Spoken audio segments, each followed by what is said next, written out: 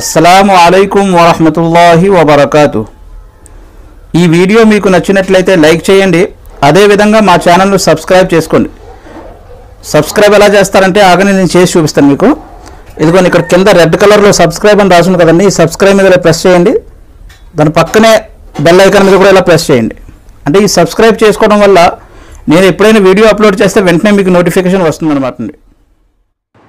దరు చదువుకునే చాలా అందరు కూడాను اللهم صل على سيدنا شفيعنا حبيبنا ومولانا محمد وبارك وسلم نحمده ونصلي على رسوله الكريم أما بعد فأعوذ بالله من الشيطان الرجيم بسم الله الرحمن الرحيم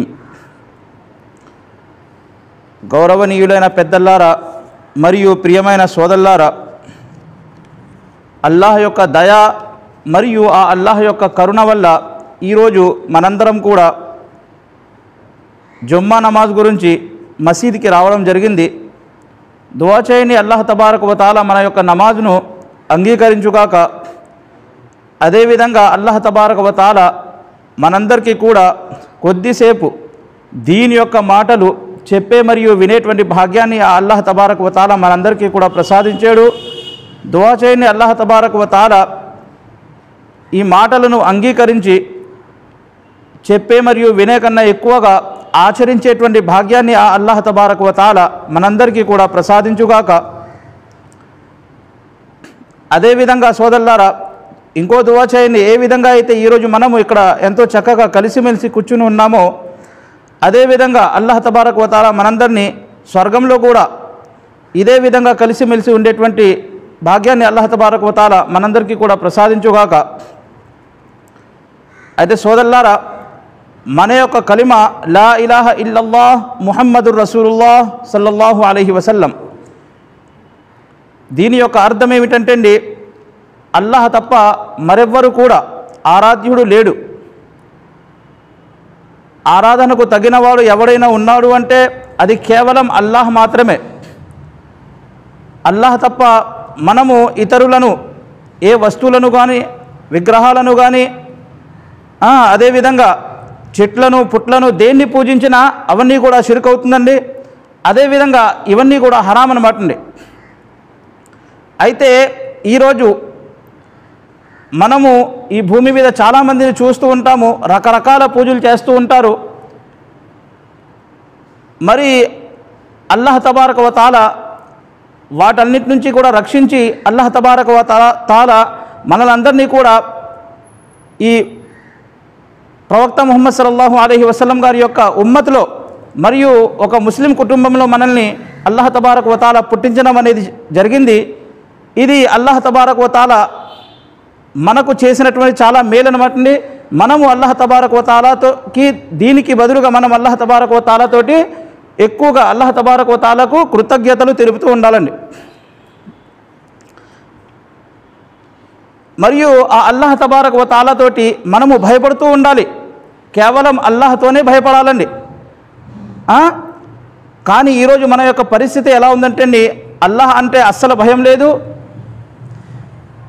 అదేవిధంగా ప్రవక్త సల్లల్లాహు అలీహి వసల్లం గారి యొక్క పద్ధతులు అంటే మనకు అస్సలు నచ్చడం లేదు. అదేవిధంగా మన యొక్క జీవితాన్ని ఇష్టం వచ్చినట్టు గడిపేస్తున్నాం అనమాట అండి. మన యొక్క జీవితాన్ని ఇష్టం వచ్చినట్టు గడిపేస్తున్నాం. అల్లాహ్ అంటే అస్సలు మనకి భయం అనేది లేదు. నిజంగా సోదరులారా ఒకవేళ అల్లాహ్ అంటే మనకు భయం ఉన్నట్లయితే మనము ఐదు పూటలు నమాజ్ ఖచ్చితంగా చదివేవాళ్ళం అన్నట్టండి ఒక మనిషి ఒక షాప్ దగ్గర ఏదో ఒక ఫ్యాక్టరీ దగ్గర లేదా ఎక్కడైనా ఉద్యోగం చేస్తున్నాడు అనుకోండి అప్పుడు ఆ ఉద్యోగం చేసేటువంటి వ్యక్తి సమయానికి ఆ ఫ్యాక్టరీకి లేదా ఆ కార్ఖానాకి లేదా ఎక్కడైతే పనిచేస్తున్నాడో ఆ ఉద్యోగం చేయడానికి ఒకవేళ సమయానికి వెళ్ళకపోతే వాడు ఏం చేస్తాడండి? వెంటనే ఉద్యోగంలో తీసేస్తాడు. ఆ భయం అనేది వీడికి ఉంటుంది కాబట్టి ఏం చేస్తాడండి? సమయానికి ముందే అక్కడ ఐదు నిమిషాల ముందే మనము వెళ్ళిపోవడం జరుగుతుందన్నమాట అండి. కానీ అల్లాహ్ అంటే భయం లేదు. ఎందుకంటే మనము అనేది అల్లాహ్ తబారక తాలా గురించి నమాజ్ చదవాలి. ఒకవేళ నమాజ్ చదవలేదనుకోండి అల్లాహ్ తబారక్ మన యొక్క ఆహారాన్ని ఆపట్లేదండి. ఒకవేళ నిజంగా మనము తినేటువంటి తిండి అల్లాహ్ తబారకోతాల లాగేసుకున్నాడు అనుకోండి అప్పుడు ఏం జరుగుతుందండి? ఖచ్చితంగా ఐదు పూట్ల నమాజ్ కూడా మనకి మసీదులో వచ్చి చేసే వాళ్ళు వాళ్ళు అవుతారనమాట అండి కానీ అల్లాహ్ తబారక్ వతాల ఎంత దయగలవాడు ఎంత జాలి గలవాడు అంటే మనం ఎన్ని తప్పులు చేసినా ఎన్ని రకాల రకరకాల తప్పులు చేస్తున్నామండి. ఎన్ని తప్పులు చేసినా కూడా ఆ అల్లహ తబారక్ వతాల మన యొక్క పాపాలను క్షమించి అల్లాహ్ తబారక్ వతాల మనకు ఆహారాన్ని ప్రసాదిస్తున్నాడు. అంత గొప్ప అల్లాహ్ మరియు ప్రవక్త సల్లాహు అలీహి వసలం గారి యొక్క ఉమ్మతులు మనం పుట్టాము. ఆయన కూడా ఈ ప్రవక్త ఎంత గొప్ప ప్రవక్త అంటే చాలామంది ప్రవక్తలు కూడా ప్రవక్త ముహమ్మద్ సల్లాహు అలీహి వసల్లం గారు ఉమ్మతులు పుట్టాలని అల్లాహ్ తబారక్ వతాలతోటి దువా చేయడం జరిగిందని. కానీ అల్లాహ్ తబారక్ వతాల ఎవరి దువాను కూడా అంగీకరించలేదు. ఒకే ఒక్క ప్రవక్త హజరతే ఈసా అలీహిస్లాం గారి యొక్క దువాను అల్లాహ్ తబారక్ వతాల అంగీకరించడం జరిగింది. ఆయన ఖయామత్కి ముందు ప్రవక్త సల్లల్లాహు అలీహి వసలం గారి యొక్క ఉమ్మతిలో మళ్ళీ తిరిగి రావడం జరుగుతుందన్నమాట అండి. అయితే ఇంత గొప్ప ప్రవక్త సల్లల్లాహు అలీహి వసలం గారి యొక్క ఉమ్మతిలో మనము పుట్టి మన యొక్క ఇష్ట ఇష్టం వచ్చినట్టు మనము జీవితాన్ని గడుపుతున్నామండి. మనకు అల్లా అంటే అస్సలు భయం లేదు. సోదల్లారా ఏమి జరిగినా సరే ప్రతీది కూడా అల్లాహే చేస్తాడు అనేటువంటి నమ్మకం అనేది అనే విశ్వాసం అనేది మనలో రావాలన్నమాట అండి. ఏం జరిగినా సరే అది అల్లాహే చేస్తాడు. అది ఇది కేవలం అల్లాహతోనే అవుతుంది అనే అనేటువంటి విశ్వాసం మనలో రావాలి. ఎందుకంటే ఒకసారి హజరత్ ఇబ్రాహీం అలీహిస్లాతు వస్సలాం గారు ఆయన కూడా చాలా గొప్ప ప్రవక్త అండి. హజరత్ ఇబ్రాహీం అలైస్లాం గారు ఆయన ఒకసారి దారిలో నడుస్తుంటూ వెళ్తున్నారటండి. నడుస్తూ వెళుతూ ఉండగా ఆయనకి సడన్గా మనసులో ఒక ఆలోచన అనేది అనేది రావడం జరిగిందండి. ఆ మనసులో ఆలోచన అనేది అనేది ఎవరు వేశారండి? ఆ అల్లాహే వేశాడనమాట అండి. హజరత్ ఇబ్రాహీం అలైహిస్సలాతు వసలాం గారికి మనసులో ఒక ఆలోచన అనేది రావడం జరిగింది. ఆ ఆలోచన ఏమిటంటే ఓ అల్లాహ్ ఇంతమంది మనుషులు ఉన్నారు కదా మరి వీళ్ళందరూ కూడా చనిపోతారు. చనిపోయిన తర్వాత ఖయామత్ రోజున మళ్ళీ కూడా నువ్వు లేపుతానంటున్నావు కదా ఖురాన్లో. మరి చనిపోయిన వ్యక్తి మనం కళ్ళతో చూస్తూ ఉంటే ఆ మాంసం ముద్ద అంతా కూడా మట్టిలో కలిసిపోతుంది. ఆ, కేవలం ఆ దుమ్ములు కూడా అక్కడక్కడ కనిపిస్తున్నాయి. దుమ్ములు కూడా పూర్తిగా ఉండలేదు. ఇలాంటిది మరి ఎలా ఏ విధంగా లేపుతావు అల్లా అని చెప్పేసి అల్లాహ తబారకు తాలతోటి ఆయన అడుగుతున్నాడటండి ఆయనకి ఒక ఆలోచన వచ్చింది. అప్పుడు అల్లాహ్ తబారకు అడిగితే అల్లాహ్ తబారకు తాలా ఏం చెప్తున్నారు? ఓ ఇబ్రాహీం ఏమిటి మీకు నమ్మకం లేదా? అని చెప్పేసి అడిగారు అల్లాహ్ తాలా. మీకు నమ్మకం లేదా నా మీద? అని చెప్పేసి అడిగితే అల్లాహ్ తబారక్ వతాలతో హజరత్ ఇబ్రాహీం అలీస్లాం గారు ఏం చెప్తున్నారు? "ఓ అల్లాహ్ నమ్మకం అయితే చాలా ఎక్కువగా ఉంది. కానీ ఒక ఉదాహరణ అసలు ఏ విధంగా చేసి చూపిస్తావు అని అనేది నాకు నాకు మనసులో ఒక ఆలోచన వచ్చింది కదా. అని చెప్పేసి అంటే అల్లాహ్ తబారక్ అంటారు మీరు ఒక పని చేయండి. నాలుగు పక్షులను పట్టుకోండి అని చెప్పేసి అంటారటండి నాలుగు పక్షులను పట్టుకోవాలంటే అప్పటికప్పుడు ఎక్కడ దొరుకుతుందండి? అప్పుడు వెంటనే ఇబ్రాహీం అలైహిస్సలాం గారు అంటారు వాళ్ళ నాలుగు పక్షులు పట్టుకోమన్నా నువ్వు? ఎక్కడ పట్టుకోను నేను? అంటే అల్లాహ్ తబారకు తాలా అంటారు ఆ నాలుగు పక్షులను కూడా నేనే పంపుతున్నాను నువ్వు దాన్ని పట్టుకో అని చెప్పేసి అంటారటండి అప్పుడు నాలుగు పక్షులు వస్తాయంటండి వచ్చిన తర్వాత హజరత్ ఇబ్రాహీం అలీస్లాం గారు ఆ నాలుగు పక్షులను పట్టుకోవడం జరుగుతుంది. పట్టుకున్న తర్వాత హ- అల్లాహ్ తబారకు తాలా ఓ ఇబ్రాహీం నువ్వు ఆ నాలుగు పక్షులను కూడా జుబా చేసేయి. అంటే దాన్ని కోసే జుబా చేసే అని చెప్పేసి అంటారనమాట జు జుబా చేసిన తర్వాత ఏ విధంగా అయితే మాసం ముక్కలు ముక్కలు చేసేస్తారో అదే విధంగా దాని యొక్క మాసాన్ని బయటికి తీసి మొత్తం ముక్కలు ముక్కలుగా చేసే అంటారట వాటిని అప్పుడు ఆయన మొత్తం మా జుబా చేసేసి వెంటనే నాలుగు పక్షులు ఉంటాయి కదండి నాలుగు పక్షులు కూడా ముక్కలు ముక్కలు మాసు చేస్తారనమాట అప్పుడు అల్లాహ్ తబారకు తాలా ఏం చేస్తా ఏం చెప్తారంటే ఓ ఇబ్రాహీం మరియు ఆ మాంసాన్ని బాగా మిక్స్ చేసే అంటారటండి. నాలుగు పక్షులు కదా మొత్తం మాంసాన్ని అంతా కూడా మిక్స్ చేసేయమంటారనమాట అంతా మిక్స్ చేసేస్తారండి. మిక్స్ చేసిన తర్వాత ఆ దగ్గరలో నాలుగు కొండలు ఉంటాయంటండి. పెద్ద పెద్ద కొండలు అల్లాహ్ తబారక్ వతాల ఏమంటారటండి ఆ నాలుగు కొండలు మీకు కనిపిస్తున్నాయి కదా పెద్ద పెద్ద కొండలు. నాలుగు భాగాల కింద విడి విడతీసి ఆ మాంసాన్ని నాలుగు కొండల మీద కూడా ఒక్కొక్క ముద్దని తీసుకెళ్ళి పెట్టేయని చెప్పేసి అంటారటండి. అప్పుడు హజరత్ ఇబ్రాహీం అలీస్లాం గారు ఆ మాంసం యొక్క ముద్దలను నాలుగు భాగాలు చేసి ఆ నాలుగు ము- ముద్దలను కూడా తీసుకెళ్ళి నాలుగు కొండలపైన పెట్టేస్తారట పెట్టిన తర్వాత అప్పుడు అల్లాహ్ తబారకుతారు అంటారు ఓ ఇబ్రాహీం ఇప్పుడు ఆ పక్షులని మీ వైపుకి పిలువు అని చెప్పేసి అంటారటండి. అప్పుడు అల్లాహ్ తబారకోతాల పిలవమంటే ఈయన అంటారు ఇదేంటి? మాంసం ముద్దలు నేను ఏ విధంగా పిలవను? అని చెప్పేసి అంటే నువ్వు పిలిచి చూడు అప్పుడు తెలుస్తుంది అని చెప్పేసి అంటారటండి. అప్పుడు ఈయన అంటారు పక్షులారా మిమ్మల్ని నేను జుబా చేసేసాను. ఆ, నువ్వు మళ్ళీ నా దగ్గరికి వచ్చాయి అని చెప్పేసి వెంటనే పిలవగానే ఒక్కొక్క కొండ దగ్గర నుంచి అంటే అంటే కొన్ని కొన్ని మొత్తం మొక్కలు చేసేసి మాంసం అంతా మిక్స్ చేస్తారు కదండి. ఆ మాంసం యొక్క మొక్కలన్నీ కూడా ఒక్కొక్క కొండ దగ్గర నుంచి అలా ఎగురుతూ వెళ్ళి ఒక పక్షిలా తయారైపోయి ఆటోమేటిక్గా మళ్ళీ ఎగురుకుంటూ హజరత్ ఇబ్రాహీం అలైస్లం గారి దగ్గరకు వచ్చేస్తుందంటండి అప్పుడు వెంటనే ఆయన గట్టిగా కేకలేస్తూ ఓ అల్లా నువ్వు ఏమైనా చేయగలవు? అని చెప్పేసి అల్లాహ తబారక్ వతాలతోటి ఆయన ప్రొఫెసర్ హజరత్ ఇబ్రాహీం అలీస్లాం గారు చెప్పడం జరుగుతుందండి. అంటే చెప్పేది ఏంటంటే అల్లాహ తబారక్ వతాల అప్పుడు అల్లాహ తబారక్ వతాల ఏమంటారంటే ఇప్- ఇప్పుడు ఏ విధంగా అయితే నువ్వు చూ చూసావో అదే విధంగా రేపు ఖయామత్ రోజున కూడా నేను మనుషులను అదే విధంగా పైకి లేపుతాను అని చెప్పేసి అల్లాహ తబారక్ వతాల చెప్పడం జరుగుతుందండి. అంత శక్తి ఉన్నటువంటి అల్లాహ తబారక్ వతాల ఏమైనా చేయగలడు కదా? మరి ఈరోజు మనము మన యొక్క జీవితాన్ని ఇష్టం వచ్చినట్టు గడిపేస్తున్నాం. ఇష్టం వచ్చిన జీవితాన్ని గడిపేస్తున్నాం అల్లాహ్ అంటే అస్సలు భయం లేదు. అయినా కూడా అల్లాహ్ తబారక్ వతాల మనకు ఆహారాన్ని ప్రసాదిస్తున్నాడే. మన మనము ప్రతి పని కూడా మనది చాలా ఈజీగా అయిపోతుంది కదా. ఒకవేళ ఆలోచించని అల్లాహ్ తబారక్ వతాల మనం ఒక నమాజ్ మానేస్తే ఒక ఒకవేళ మన యొక్క ఆహారాన్ని లాగేసుకుంటే మనం చే ఏమైనా చేయగలమండి? ఏమీ చేయలేము మన దగ్గర మన చేతిలో ఏమీ లేదు. అంతా అల్లాహ్ చేతిలోనే ఉంది. అయినా కూడా అల్లాహ్ తబారక్ వతాల మనకు ఆహారాన్ని ప్రసాదిస్తున్నాడు.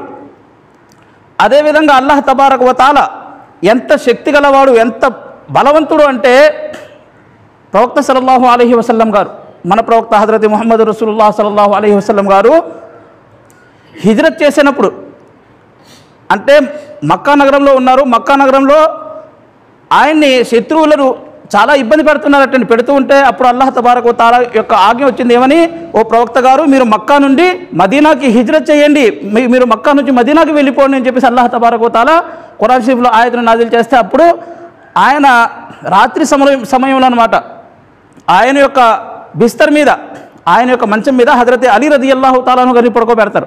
పడుకోబెట్టి అప్పుడు లేచి వెళ్ళిపోదామని చెప్పేసి అనుకుంటే ఆ ఇంటి యొక్క ఆ ప్రొఫెసర్లాసలం గారు ఇల్లు ఉంది కదండి. మొత్తం వంద మంది కాపలా ఉన్నారటండి. శత్రువులు వంద మంది ఉన్నారు.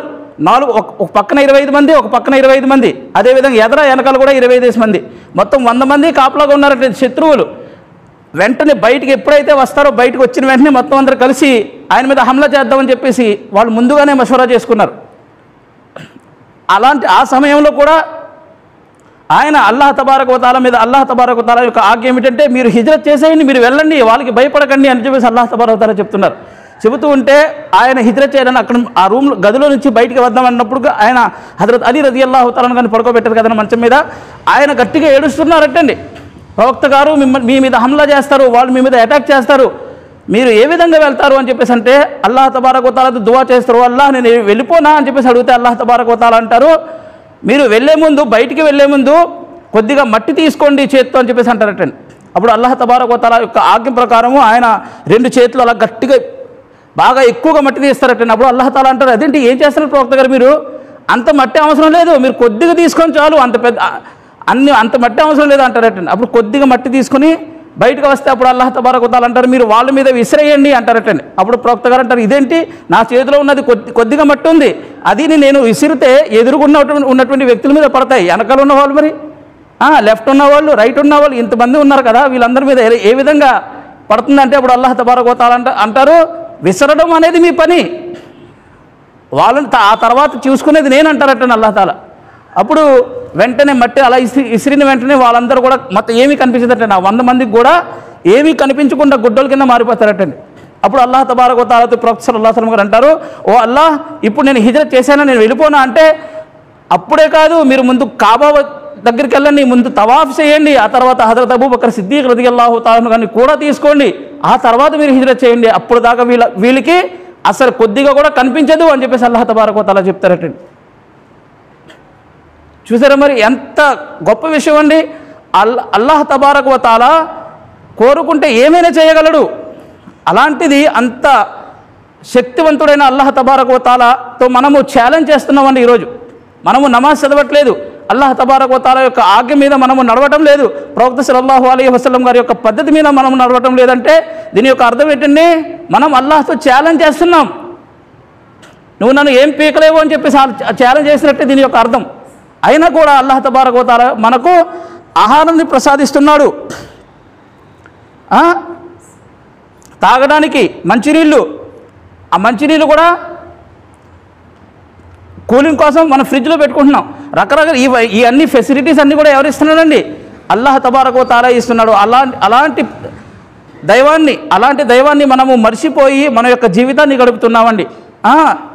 సోదరులారా ఆలోచించండి. మన యొక్క వయసు ఇప్పటికే ముప్పై సంవత్సరాలు నలభై సంవత్సరాలు డెబ్బై సంవత్సరాలు ఎనభై సంవత్సరాలు అయిపోయింది. ఇంకా ఎన్ని రోజులు? ఎప్పుడు మారుతాం మనం? ఎంతోమందిని మన చేతులతోటి మనమే భుజం మీద తీసుకెళ్ళి కప్పెట్టేసి వచ్చాం కదని ఆలోచించండి ఒకసారి. మనము ఎంతోమందిని తీసుకెళ్ళి అదేవిధంగా ఎంతోమందిని చూస్తున్నాం. తీసుకెళ్ళి ఆ హిందువులు అయితే కాల్ చేస్తున్నారు ఎంతోమందిని చూస్తున్నాం.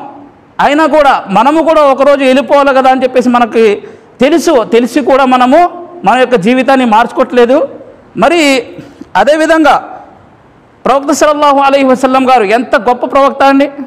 అలాంటి గొప్ప ప్రవక్త సలల్లాహు అలైహి వసలం గారి యొక్క ఉమ్మతిలో మనల్ని పుట్టించారు. పుట్టించిన తర్వాత కూడా మనము మన యొక్క ఇష్టం ఇష్టం వచ్చినట్టు మన యొక్క జీవితాన్ని గడుపుతున్నాము. ఆయన ప్రవక్త సలల్లాహు అలైహి వసల్లం గారు ఐదు పూటలు నమాజ్ తూచ తప్పకుండా చదవాలి అని చెప్పేసి చెప్పారు. కానీ మనకు కుదరటం లేదండి. సోదరులారా మరి దీని గురించి చూసినట్లయితే నేను ఒక వాక్య హజరత్ ఉమర్ రది అల్లాహు తాలాను గారి గురించి మీకు చెప్ చెప్తాను. అది హజరత్ ఉమర్ రది అల్లాహు తాలాను గారు ఎంత గొప్ప సహాబా ఆయన. ప్రవక్త సల్లల్లాహు అలీ వసలం గారి యొక్క అనుచరుల్లో ఒక అనుచరుడు హజరత్ ఉమర్ రది అల్లాహు తాలాను గారు. ఎంత గొప్ప సహాబా అంటే ఆయన ఆయన యొక్క ఖలీఫా అన్నమాట. ఆయన ఖిలాఫత్ చేసినప్పుడు రాజుగా ఉన్నారండి. ఆయన యొక్క రాజు ఎంత దూరం వరకు అంటే బాయిస్ లాఖ్ మురబ్బా మీల్ అని చెప్పేసి పుస్తకంలో రాయడం జరిగింది. బాయిస్ లాఖ్ అంటే ఇరవై రెండు లక్షల చదరపు మైళ్ళు అని అర్థం అనమాట ఇరవై రెండు లక్షల చదరపు మైళ్ళు అంటే ఒక మైల్ అంటేనే కిలోమీటర్న్నర అన్న అలాంటిది ఇరవై రెండున్నర లక్షల చదరపు మైళ్ళ మీద ఆయన హుకుమత్ చేశారండి. అంత గొప్ప సహాబా ఆయన. అంత పెద్ద అదండి. ఆయన చాలా ఆయనకి కోపం ఎక్కువండి ఎవరికి? హజరత్ ఉమర్ రది అల్లాహు తాలన్ గారికి. ప్రవక్త సల్లాహు అలైహి వసల్లం గారు ఒక వీధిలోంచి వస్తూ ఉంటే ఒక పక్క నుంచి హజరత్ ఉమర్ రది అల్లాహతరం గారు వెళ్తున్నారటండి. ఒక పక్క నుంచి హజరత్ ఉమర్ రది అల్లాహతరం గారు వెళ్తున్నారు ఎదురు ఎదు- ఎదురు నుంచి ఏమో ప్రవక్త సల్లల్లాహు గారు వస్తున్నారు. ప్రొఫెసర్ సల్లల్లాహు అలైహి గారు హజరత్ ఉమర్ రది అల్లాహతరం గారిని చూసి నవ్వుతున్నారటండి. నవ్వుతే అలా ఒక్కసారి రెండు సార్లు మూడు సార్లు అలా జరిగిందంటండి. వేరే వేరే రోజుల్లో అలా జరిగితే హజరత్ ఉమర్ రది అల్లాహ్ అలా అలా బట్టలు చూసుకునేవారటండి ఇదేంటి నా అన్ని బట్టలన్నీ బాగానే ఉన్నాయి అన్నీ నేను బాగానే ఉన్నాను కదా అయినా కూడా నన్ను చూ ప్రొఫెసర్ అసలు కూడా చూసి నన్ను నన్ను చూసి నవ్వుతున్నారు ఏంటి అని. అప్పుడు ఒకసారి అడిగేశారటండి. హజరత్ ఉమర్ రది అల్లాహ్ ఓ ప్రవక్త గారు మీరు నన్ను చూసి నవ్వుతున్నారు ఎందుకు? ఎంతోమంది సహాబాలను చూస్తున్నారు. ఆయన ఎవరిని చూసి మీరు నవ్వట్లేదు కదా? నన్ను చూసి ఎందుకు నవ్వుతున్నారు? అంటే అప్పుడు హజరత్ ప్రవక్త సల్లల్లాహు అలైహి మీరు ఏమంటారటండి ఓ ఉమర్ మీరు ఏ వీధిలోంచి అయితే వెళ్తారో ఆ వీధిలోంచి శైతాన్ మిమ్మల్ని చూసి పరుగులు తీస్తుంది. నేను మిమ్మల్ని చూసి నవ్వట్లేదు. ఆ ఆ యొక్క సీన్ని చూసి నాకు నవ్వు వస్తుంది. మిమ్మల్ని చూసి శైతాన్ కూడా పరుగులు పెడుతుంది ఏంటి అని. నాకు అందుకని నవ్వు నవ్వు వస్తుంది అని చెప్పేసి చెప్తున్నారటండి. అంత గొప్ప సహాబా ఎవరు? హజరత్ ఉమర్ రది అల్లాహు తాలాను గారు. మరియు ఆ ఉమర్ రది అల్లాహు ఎలాంటి వ్యక్తి అంటే అండి? ఆయన మనసులో ఒక ఆలోచన వచ్చిందనుకోండి ఈ విధంగా చేస్తే చాలా బాగుంటుంది అని ఒక ఆలోచన వచ్చింది. వచ్చిన తర్వాత ప్రవక్త సల్లల్లాహు అలైహి గారి దగ్గరికి వెళ్ళి ప్రవక్త గారు ఈ విధంగా చేద్దాం అనుకుంటున్నామండి ఈ విధంగా చేస్తే బాగుంటుందంటే అప్పుడు ప్రవక్త సల్లల్లాహు అలైహి ఏమన్నామండి మీరు రాకముందే అల్లాహ్ తబారక్ వతాల ఖురాన్ యొక్క ఆయతను నాజిల్ చేశారు. మీరు మనసులో అనుకున్నారు అల్లాహ తబారకోతాను ఫైసలా చేసేసారు అని చెప్పేసి చెప్పారటండి. మనసులో అనుకుంటేనే ఫైసలా అయిపోయిందండి. అంత గొప్ప సహాబా. ఎవరు? హజరత్ ఉమర్ రది అల్లాహు తాలాను గారు. అయితే ఆయన గురించి ఇంకో విషయం ఏమిటంటే అండి ప్రవక్త సల్లాహు అలైహి గారు చెప్పినటువంటి మాట ఏమిటంటే నేను చిట్ట చివరి ప్రవక్త నా తర్వాత ఎవరు కూడా ప్రవక్తలు రారు. ఒకవేళ నా తర్వాత ఎవరైనా ప్రవక్తలు వచ్చి అవకాశాలు ఏమైనా ఉంటే అది ఉమర్ గారు అని చెప్పేసి చెప్తున్నారండి. అంత గొప్ప సాహాబాని ఆయన గురించి. చాలా కోపంగా ఉండేవారటండి ఆయన యొక్క ఖిలాఫత్లో ప్రో హజరత్ ఉమర్ రది అల్లాహ్ అంటే ప్రొఫెసర్ సల్లాహ్ సలం గారు చనిపోయారు. ఆ తర్వాత హజరత్ అబూబకర్ గారు హజరత్ ఆ తర్వాత హజరత్ ఉమర్ రది అల్లాహ్ గారి యొక్క ఖిలాఫత్ అనమాట అయితే ఆయన యొక్క కాలంలో ఒకసారి ఏం జరిగిందంటే ఇలాగే జుమ్మా రోజు అనమాట మనం ఏ విధంగా అయితే శుక్రవారం నమాజ్ కోసం వచ్చామో అదే విధంగా జుమ్మా నమాజ్ కోసం. అక్కడ మరి మసీదులో జుమ్మా నమాజ్ అనేది హజరత్ ఉమర్ రది అల్లాహు తాలను గారు చదివించారటండి. ఆయన చదివించాలి. ఆయన కోసం వెయిటింగ్ చేసేవారు. మరి ఈ రోజుల్లో అయితే ఒక ఐదు నిమిషాలు లేట్ అయిపోయినా అటు ఇటు చూ గడియారం వైపు చూస్తారు భయం చేసే వ్యక్తిని చూస్తారనమాట కానీ ఆ రోజుల్లో అలా కాదండి. హజరత్ ఉమర్ రది అల్లా అవుతారు ఎప్పుడు వస్తే అప్పుడే నమాజ్ జరిగేదనమాట అంతకుముందు ఎవరికి కంగారు పడేవారు కాదు ఎవరు కూడా. అయితే ఆయన నమాజ్ కోసం రెడీ అయిపోయి ఫ్రెష్గా స్నానం చేసి మంచి బట్టలు ధరించి హజరత్ ఉమర్ రది అల్లాహుతాలను వారు నమాజ్ చదివిందాం కదా అని చెప్పేసి మసీదు వైపుకు వెళ్తున్నారటండి. వెళుతూ ఉంటే దారిలో ప్రవక్త సలల్లాహు అలీహి వసల్లం గారి యొక్క చిన్నాన్న ఆయన పేరు హజరత్ అబ్బాస్ రది అల్లాహు తాలాను గారు. ఆయన యొక్క ఇల్లు ఇల్లు అనేది దారిలో ఉందంటండి. ఆయన ఆయన యొక్క ఇల్లు ఏ విధంగా ఉందంటే ఆ బిల్డింగ్ టైప్లోనే కట్టారనమాట ఆ ఇంటి పైన రెండు మేకపోతులను కోసారంటండి ఆ రోజు. ఆయన ఎవరో హజరత్ అబ్బాస్ రది అల్లాహు గారు రెండు మేకపోతులను జబా చేసి జుబా చేశారు ఎక్కడ? టెరెస్ పైన అనమాట పైన ఆ బిల్డింగ్ పైన. జుబా చేసిన తర్వాత పైనుంచి ఒక గొట్టం ఉంది ఉంటుంది కదండి? ఆ గొట్టం నుంచి బ్లడ్ వస్తుంది అనమాట రక్తం. అలా కారుతుంది కిందకి. కారుతూ ఉంటే అప్పుడు హజరత్ ఉమర్ రది అల్లాహు గారు కంగారు కంగారు వెళ్ళిపోతున్నారు నమాజ్ చదివించాలని. వెళుతూ ఉంటే మీద ఏదో పడినట్టు కనిపించింది అనమాట ఇలా చూస్తే బ్లడ్ రక్తం పైనుంచి పడుతుంది. ఇలా చూస్తే ఆయనకి చాలా కోపం వచ్చిందండి ఇదేంటి నమాజ్ టైం అయిపోతుంది నేనేమో మంచి ఫ్రెష్గా రెడీ అయిపోయి నమాజ్కి వెళ్తూ ఉంటే ఎవరిది ఇది ఇల్లు అని చెప్పేసి గమనిస్తే ఇది హజరత్ అబ్బాస్ రది అల్లాహు తాలను గారి యొక్క ఇల్లు అనమాట అక్కడ ఆ బ్లడ్ కారుతుంది. ఆయన మంచి కోపంతో మళ్ళీ వెనక్కి వెళ్ళారు వెనక్కి ఇంటికి వెళ్ళి మళ్ళీ ఫ్రెష్ అప్ అయిపోయి మొత్తం బట్టలు మార్చుకొని మళ్ళీ నమ్ మసీద్కి రావడం జరిగిందనమాట మసీద్కి మళ్ళీ వెళ్ వెళ్తున్నప్పుడు అదే దారిలో ఆ గొట్టను చూసి ఒక వ్యక్తిని పిలిచి ఆ గొట్టం కనిపిస్తుంది కదా పైన మొత్తం ఇరిసాయని చెప్పేసి అంటారటండి. ఆ గొట్టం ఏదో కనిపిస్తుంది నాకు పీకిపాడని అంటారటండి హజరత్ ఉమర్ రది అల్లాహ్ ఆయనకు అసలే కోపం ఎక్కువ. అప్పుడు వెంటనే ఒక వ్యక్తి ఆ వ్యక్తి వెళ్ళి ఒక గొట్టం పీకేస్తారటండి పీకేసిన తర్వాత నమాజ్కి వెళ్ళిపోతారు. నమాజ్ జుమ్మా నమాజ్ అయిపోతుందండి. నమాజ్ అయిపోయిన తర్వాత హజరత్ అబ్బాస్ రది అల్లాహు తాలను గారికి ఈ విషయం తెలుస్తుంది అనమాట ఇలా ఆయన మీద బ్లడ్ పడింది అని ఏదో కోపం వచ్చేసింది. అప్పుడు ఆయన క్షమాపణ అడుగుదామని చెప్పేసి ఆయన్ని సారీ అడుగుదామని చెప్పేసి హజరత్ అబ్బాస్ రది అల్లాహు తాలను గారు నమాజ్ అయిపోయిన తర్వాత బయటికి వెళ్తుంటే హజరత్ ఉమర్ రది అల్లాహు తాలను గారు షర్ట్ని చొక్కాని వెనకాల నుంచి పట్టుకుంటారు. హజరత్ అబ్బాస్ రది అల్లాహు గారు. పట్టుకుని ఓ ఉమర్ గారు మీరు ఒక ఖలీఫా ఈ యొక్క అమీర్ ఇప్పుడు ఈ కాలంలో యొక్క అమీర్ మీరు నాతో ఏదో తప్పు జరిగిపోయింది మీరు నన్ను క్షమించాలి ఎందుకంటే మీరు నన్ను క్షమించకపోతే అల్లాహ్ తబారకోతాలతో నేను ఖయామత్ రోజున ఆయనకి సమాధానం నేను చెప్పలేను.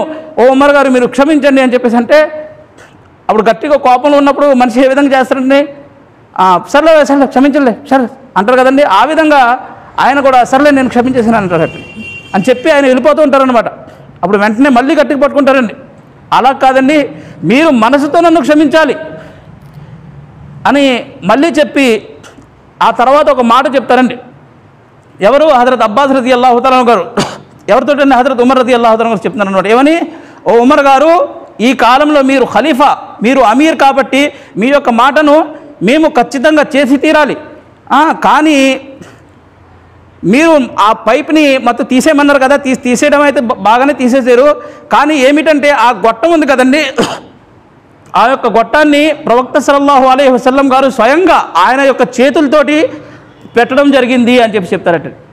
ఆ ఇల్లు కట్టినప్పుడు ప్రవక్త సల్లల్లాహు అలీ వసల్లం గారు స్వయంగా ఆయన యొక్క చేతులతోటి ఆ గొట్టాన్ని అక్కడ పెట్టడం జరిగింది ఆ ప్లేస్లో అని చెప్తారటండి అప్పుడు ఈయన ఈయనకి వెంటనే కోపం అంతా తగ్గిపోతుంది అనమాట కోపం అంతా తగ్గిపోయి చాలాసేపు ఏడుస్తారటండి. చాలాసేపు ఏడుస్తారు. ఏమని? ఇదేంటి ప్రవక్త సల్లల్లాహు అలైహి వసల్లం గారు స్వయంగా ఆయన యొక్క చేతులతో పెట్టినటువంటి గొట్టాన్ని నేను పీకేసానా నేను తీసేసాను అక్కడి నుంచి? అని చెప్పేసి ఆయన చాలాసేపు ఏడుస్తూ ఏడుస్తూ ఏడుస్తూ అల్ ఓ అల్లాహ్ నన్ను క్షమించు అని చెప్పేసి అంటారటండి.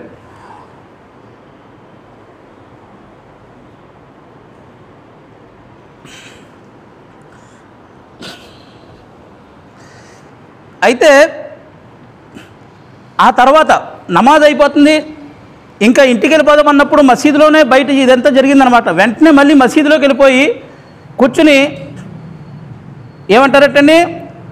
ఓ అబ్బాస్ రది అవుతారు మీరు కూడా రండి నా చు- కూడా అని చెప్పేసి మసీదులో కూర్చుంటారు. వేరే మనుషులను పిలిచి ఆ గొట్టం ఏ విధంగా అయితే మరి ఈ రోజుల్లో అయితే ప్లాస్టిక్ గొట్టాలు ఉన్నాయండి. ఆ రోజుల్లో ప్లాస్టిక్ గొట్టలు కాదు మనం కూడా చూసాం కొన్నాళ్ళ క్రితం సిమెంట్ తోటి ఏదో తయారు చేసేవారు. అలాగే మరి ఆ కాలంలో దేని ఉందో మనకు తెలియదు మొత్తం మీద ఆ గొట్టం అనేది ఆ తయారు చేసేటువంటి సామాన్లను కూడా మీరు తీసుకురండి అని చెప్పేసి ఒక వ్యక్తిని పంపిస్తారటండి. పంపించి ఆ యొక్క గొట్టం ఏ విధంగా తయారు చే- చేయాలో ఆ సామాన్లన్నీ కూడా తెప్పిస్తారటండి. తెప్పించి అక్కడి నుంచి మళ్ళీ మొత్తం అందరూ బయలుదేరతారండి. ఎవరు హజరత్ అబ్బాస్ రది అల్లాహుతాలను గారు మరియు హజరత్ ఉమర్ రది అల్లాహుతాలను బయలుదేరి ఆ గొట్టం మళ్ళీ పెడదామని అంటే హజరత్ అబ్బాస్ రతి అల్లాహు గారు అంటారు పోనులండి ఏదో మీకు తెలియక ఏదో పీకేశారు అయిపోయింది అయిపోయింది ఎందుకులండి? ఆ గొట్టం నేను ఏదో కట్టించుకుంటానండి అంటారటండి. అప్పుడు అంటే అదేంటి ఆ గొట్టం ఎవరి వల్ల ఊడిపోయింది అది? ఎవరు పీకేయమన్నారు? నేనే కదా పీకేయమన్నాను. అందుకని ఆ గొట్టం అనేది నేనే పెడతాను.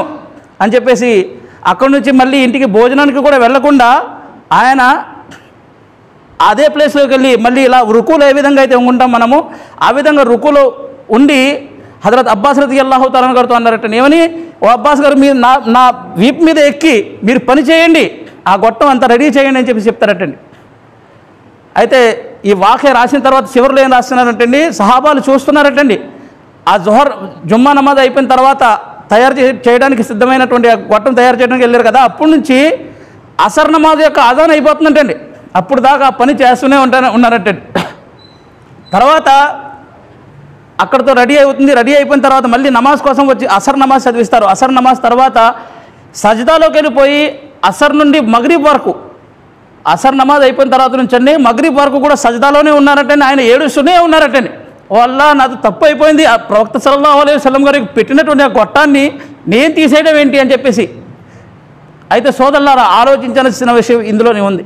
ఏమిటంటే ప్రవక్త హజరత్ ఉమర్ రది అల్లా గారు తప్పు చేశారని నిజంగా చెప్తే అది ఒక కన్స్ట్రక్షన్ లైన్ యొక్క తేడా అన్నమాట అంతే. అది ఒక తప్పు కాదు. ఎందుకంటే అండి ప్రవక్త సల్లాహం గారి యొక్క కాలంలో అది ఏదో పెట్టారు అయిపోయింది. కానీ ఈయన యొక్క కాలంలో ఈ రో ఈ లోపు చాలా గ్యాప్ వచ్చేసింది కదండి మరి. రోజు రోజు మార్పుల వల్ల మరి దారికి అడ్డు అడ్డుగా ఉన్నట్టు ఉంది.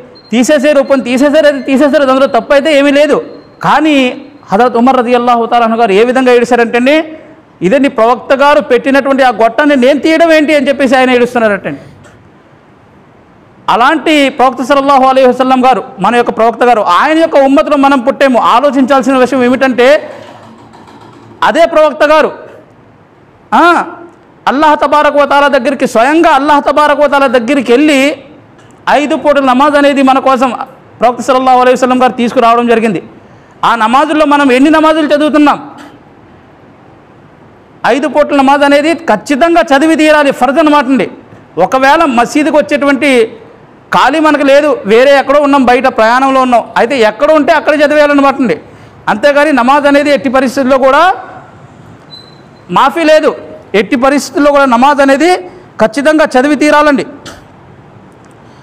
అయితే ఈ నమాజ్ గురించి ప్రవక్త సల్లల్లాహు అలైహి వసల్లం గారు స్వయంగా చెప్పి ఉన్నారు. ఏమిటంటే అండి ఈ నమాజ్ అనేది ఎవరైతే చదువుతారో వాళ్ళు నా యొక్క కంటి కళ్ళను చల్లపరుస్తారు అని చెప్పేసి ప్రొఫెసర్ సల్లాహలం గారి యొక్క హదీస్ అనమాట అండి. అలాంటి నమాజులను వదిలేసి మన యొక్క జీవితాన్ని గడుపుతున్నాం అనమాట అండి. చివరిగా నేను ఒక వాక్య ఎవరో హజరతే అబ్దుల్ షేక్ అబ్దుల్ ఖాదిర్ జీలానీ రహమతుల్లా అలీ గారి గురించి ఒక వాక్య చెప్పి నా యొక్క ప్రసంగాన్ని ముగిస్తాను. ఇన్షాల్లా షేక్ అబ్దుల్ ఖాదిర్ జీలానీ రహమతుల్లా అలీ గారు అని ఒక చాలా పెద్ద వలి అనమాట ఆయన చాలా పెద్ద వలి. బగ్దాద్ ప్రాంతంలో ఆయన జన్మించారండి. అక్కడ చాలా పెద్ద వలి అనమాట ఎంత పెద్ద వలి అంటే ఆయన స్పీచ్ ఇచ్చినప్పుడు భయాన్ చేస్తున్నాను అనుకోండి మధ్యలో వర్షం వచ్చేస్తుందండి ఒకరోజు ఆయన భయాన్ చేస్తున్నారంట. జనాలందరినీ కూడా పిలిచి కూర్చోపెట్టి భయాన్ చేస్తుంటే వెంటనే వర్షం వచ్చేస్తుంటే జనాలందరూ కూడా ఇలేసి పరిగెడేస్తూ ఉంటారటండి. పరిగెడుతూ ఉంటే అప్పుడు ఆయన అల్లా వైపు చూస్తూ వల్ల పైకి ఆకాశం వైపు చూసి ఓ అల్లా ఇదేంటి? నేను మీ మాటలు చెబుదామని జనాలు జనాల్ని ఎంతో కష్టపడి పిలిచి ఇక్కడ కూర్చోబెట్టి చెబుతూ ఉంటే వర్షం వచ్చేస్తుంది ఏంటి? అని చెప్పేసి అన్నారటండి అలా పైకి చూసిన వెంటనే ఏమైందండి? వర్షం ఆగిందండి? ఆగలేదు. వర్షం అనేది ఆగలేదు. వర్షం ఏం జరిగిందంటే నా రుజు మొత్తం ఆ గ్రౌండ్ అక్కడ జనం ఉన్నారు కదండి ఆ చుట్టూ వర్షం పడుతుందంటే ఆ మధ్యలోనే వర్షం పడతలేదు. జనాలు కూర్చున్నారు కదా ఆ ప్లేస్లో వర్షం పడతలేదు వెంటనే ఆగిపోయిందంటండి. ఆ చుట్టూ మరియు వర్షం పడుతూనే ఉందంటండి. అంత పెద్ద వలి అనమాట ఎవరో హజరత్ షేక్ అబ్దుల్ ఖాదిర్ జిలానీ రహమతుల్లా గారు. ఐదు లక్షల హదీసులు ఆయన గుర్తున్నాయంటండి. ఐదు లక్షల హదీసులు. ఎంత పెద్ద వలి ఆలోచించండి. ఐదు లక్షల హదీసులు ఆయన గుర్తున్నాయి మనకు ఒక్క హదీసు కూడా గుర్తులేదు. అంత పెద్ద వలి. ఆ వలి ఆయన యొక్క జీవితంలో పదిహేను సంవత్సరాలు ఏ విధంగా గడిపారట్టండి ఆయన? ప్రతిరోజు రాత్రి సమయంలో ఒక ఖురాన్ పూర్తిగా చదివేవారు. మరియు పగల అంతా కూడా ఉపవాసం ఉండేవారటండి. పదిహేను సంవత్సరాల వయసు వరకు పదిహేను సంవత్సరాల వరకు ఒకసారి ఇలా జరిగిందనమాట. ఒక్కరోజు కూడా వదలకుండా ప్రతిరోజు రాత్రుల్లో ఖురాన్ పూర్తి చేయడం పగలంతా ఉపవాసం ఉండడం అనమాట అంత పెద్దవాళ్ళు అని షేక్ అబ్దుల్ ఖాదిర్ జిలానీ రహమతుల్లా అలీ గారు. ఆయన తొంభై సంవత్సరాలు బ్రతికిరండి. ఆయన చిట్ట చివరి ఫత్వా. చనిపోయినప్పుడు ఆయన చెప్పినటువంటి మాట అనమాట చనిపోయినప్పుడు ఆయన ఏం చెప్తున్నారు? ఓ బగ్దాద్ వాసులారా అని చెప్పేసి గట్టి కేకలు అందరితో చెప్తున్నారట. నేమని? ఓ బగ్దాద్ వాసులారా ఎవరైతే నమా ఇది ఆయన ఏం చెప్తున్నారంటే నా యొక్క విశ్వాసం ఏమిటంటే నేను ఖురాన్ని చదివాను హదీస్ని చదివాను. నా యొక్క విశ్వాసం ఏమిటంటే ఎవరైతే ఒక్క పూట నమాజ్ కూడా తెలిసి వదిలేస్తే ఆ వ్యక్తికి చనిపోయే ముందు కర్మ అనేది రాదు అని చెప్పేసి చెప్పారట. చనిపోయే ముందు ఖచ్చితంగా కలమ చదవాలి. కానీ తెలిసి ఒక్క పూట నమాజ్ కూడా వదిలేసినట్లయితే ఆ వ్యక్తికి చనిపోయే ముందు కలమ అనేది ఆ ఆ వ్యక్తి యొక్క నోట్లోంచి రాదట్టండి అంత గొప్ప వలిగా చెప్పినటువంటి మాట అనమాట అందుకని సోదరులారా నేను చెప్పాల్సిన విషయం ఏంటంటే ఇప్పుడు దాకా ఏదో జరిగిపోయింది జరిగిపోయింది. ఇప్పుడైనా అల్లాహ తబారక తాలతోటి మనము క్షమాపణ కోరుకునే వల్ల నాతో ఏదో తప్పు జరిగిపోయింది ఇప్పుడు దాకా ఏదో అయిపోయింది అయిపోయింది. ఇప్పుడు నుంచైనా వల్ల నేను ఖచ్చితంగా ఐదు పూట్ల నమాజ్ చదువుతాను. ఓ అల్లాహ్ ప్రవక్త సల్లా అలైహి గారు ఏ విధంగా జీవితాన్ని గడిపారో తెలిసి ప్రతిదీ కూడా తెలుసుకుని నేను అదే విధంగా జీవితాన్ని గడుపుతానని చెప్పేసి మనందరం కూడా సలకం సంకల్పం చే చేయాలన్నమాట అండి. అయితే చివరిగా నేను ఖురాన్ యొక్క ఒక ఆయతిని చదివి ఈ ప్రసంగాన్ని ముగిస్తాను. మనం ఖురాన్ యొక్క ఇది అమ్మ పాలను అరైతల్లది యుకద్దిబు బిద్దీన్ అని చెప్పేసి మనం చదువుతూ ఉంటామని. అరైతల్లది యుకద్దిబు బిద్దీన్ ఫదాలికల్లది యదుల్ యతీం వలా యహుజు అలా తామిల్ మిస్కీన్. ఇక్కడ దాకా అయితే అల్లాహ తబారక్ వతాల కాఫిర్ల గురించి చెప్పారండి. కాఫిర్లు ఎవరు అంటే వాళ్ళు ఖయామతును తిరస్కరిస్తారు. అలా ఇవన్నీ ఆయతలు అనమాట ఆ తర్వాత అల్లాహ తబారక్ వతాల చెప్పినటువంటి మన కురాన్లు ఏమిటి ఫవైలుల్లిల్ ముసల్లీన్ అంటున్నారండి ఫవైలుల్లిల్ ముసల్లీన్ అంటే అల్లాహ తబారక్ చెప్పినటువంటి మాట ఏమిటంటే నేను ఎన్ని నరకాలను తయారు చేశాను నరకం అనేది ఎన్ని తయారు చేశానో అన్ని నరకంలో కన్నా భయంకరమైన నరకం ఏమిటంటే వైల్ దాని పేరు. ఏం పేరని వైల్. ఆ భయ ఆ భయంకరమైన నరకం పేరు వైల్ అంటండి ప్రతిరోజు ఉదయాన్నే అన్ని నరకం కూడా చేతులు జోడించి మరియు క్షమాపణ కోరుకుంటుందంటే నువ్వు అల్లా ఇంత భయంకరంగా ఉందా? అని చెప్పేసి ఆ వైల్ అనే నరకం. ఆ వైల్ నరకం గురించి ఫవైలుల్లిల్ ముసల్లీన్ అని చెప్పేసి అల్లాహ్ తబారక్ చెప్తున్నాడు. ఏమని? నేను ఎవరైతే నమాజ్ చదువు చదవని వారు కాదు ఎవరైతే నమాజ్ చదువుతారో కానీ సుస్థి చేస్తారంటే చదువుదాంలే కాసేపు ఇంకా టైం ఉంది కదా ఇంకా టైం ఉంది కదా అని చెప్పేసి చదివే వాళ్ళ గురించే అల్లాహ్ తబారావు అలాంటి వాళ్ళని ఆ నరకంలో వేస్తారటండి. అల్లాహ్ తబారావు ఎవరినని పూర్తిగా నమాజ్ వదిలేసిన వాడిని కాదు నమాజ్ చదువుతాడు కానీ కాహిలి సుస్థి బద్ధకం అనమాట బద్ధకం చేస్తూ ఇంకా టైం ఉంది కదా చదువుతాంలే ఇంకా కసేపు కాసేపు ఇంకా రేపు చదువుతాంలే ఈరోజు ఎందుకులే? అని చెప్పేసి ఎవరైతే బద్ధకం చేస్తాడో అలాంటి వ్యక్తిని అల్లాహ్ తబారకుతారా ఏం చేస్తారంటే వైల్ అనబడేటువంటి నరకం భయంకరమైన అన్ని నరకంలో కన్నా భయంకరమైన నరకం అనమాట ఆ నరకంలో అల్లాహ తబారక తాలా వేస్తాను అంటున్నాడు. అది అందుకని అల్లాహ తబారక తాలాతోటి మనం ఈరోజు ప్ర ప్రతి ఒక్కరు కూడా సంకల్పం చేయండి అల్లాహ తబారక తాలాతోటి దువా చేయండి. ఖచ్చితంగా ఈ రోజు నుంచి ఖయామత్ వరకు కూడా ఈ సాయంత్రం నుంచి చనిపోయే సాయంత్రం వరకు ప్రతిరోజు కూడా ఒక్క నమాజ్ కూడా వదలకుండా ఇన్షా అల్లా చదువుదామని చెప్పేసి అందరూ కూడా సంకల్పం చేయండి. ఇన్షాల్లా దువా చేయని అల్లాహ్ తబారక్ వతాల మనందరికీ చెప్పే కన్నా వినే కన్నా ఆచరించేటువంటి భాగ్యాన్ని అల్లాహ్ తబారక్ వతాల మనందరికీ కూడా ప్రసాదించుగాక. వాఖరు దావానా అనిల్ అల్హమ్దులిల్లాహి రబ్బిల్ ఆలమీన్.